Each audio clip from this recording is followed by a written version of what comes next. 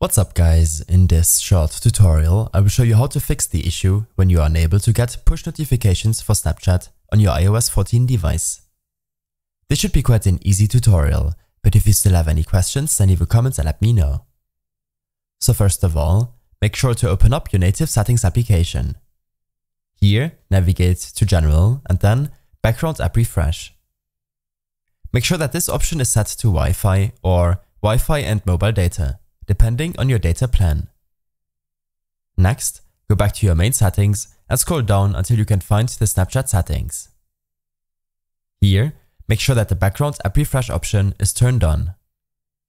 Under notifications, make sure that this setting is turned on as well, and then you'll be able to change the way Snapchat notifications will be presented on your device below.